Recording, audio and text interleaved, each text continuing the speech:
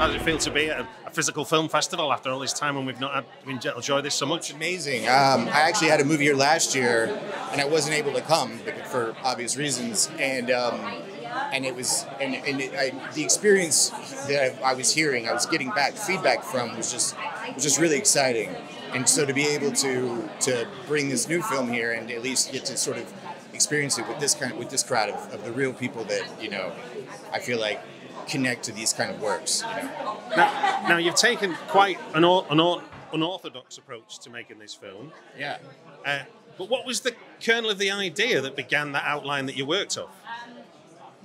I think it was just the idea of like, of really just like making a movie in which, even if like we lost the the negative, that like the experience of it would have been like something we, we could tell stories about forever. Do you know what I mean? Yeah. But then also like being able to explore these these places that are kind of popular tourist some of them popular some of them even not even uh, tourist attractions at all in the united states and getting to kind of use those as part of our spectacle because we had such a low budget that part of what we what we did was we used like these incredible landscapes that very few people ever film movies in to kind of like with the exception of maybe you know John Ford in the 1950s um, you know, it's like ever since you know the, the John Wayne movies of the past, it's like you to get to kind of live in these worlds and explore that and tell this genre of science fiction story through that is really exciting. Plus, there were like lots of movies that inspired it.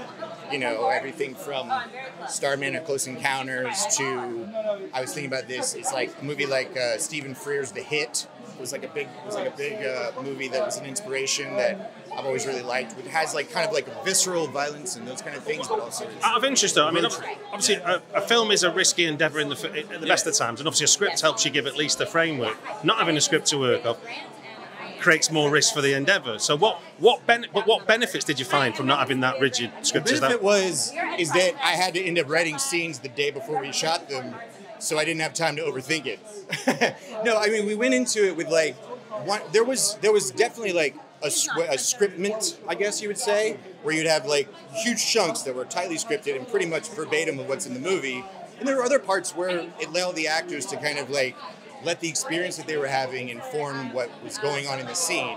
And in some cases, um, they, you know, Brea and AJ would come up with with um, dialogue and, and, and scenarios which you probably wouldn't have ever come up with just sitting behind a computer and writing it, you know.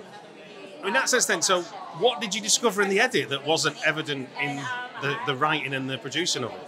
Oh, wow. Well, I discovered that I have about an hour of movie that are these great sort of tangents that are already cut and everything, and that you could kind of, you know, if it's something that people are a fan of, if people end up liking this movie enough to like, we want to put it on a Blu-ray, it's like there's a whole there's like these derivations that kind of take us off of the main story track that are actually kind of really interesting little scenes in and of themselves, little vignettes. But felt for the movie, it just needed to kind of.